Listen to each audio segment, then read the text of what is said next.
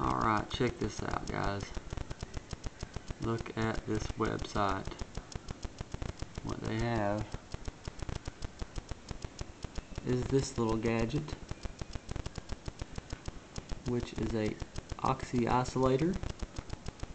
Uh, tuner heads came up with this.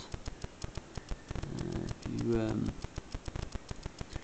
if it's causing your uh, ECM or electronic control module to uh, default its cycle and dumping loads of gasoline in the engine, um, uh, this will take care of it.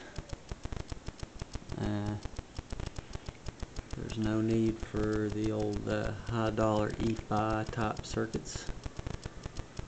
Uh, this is easy to install and it's only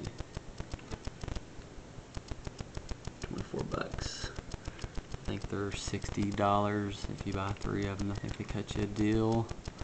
Let's see, uh, yeah, $20. EFIE around 240 um, This is what you do with it though.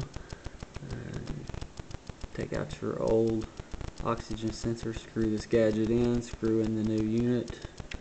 Voila, save money. Okay, uh, works on all vehicle makes and models. Uh,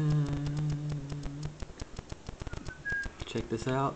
If somebody wants to purchase one of these and tell me it solves their problems, great. Post it on here and tell everybody. Over and out, guys.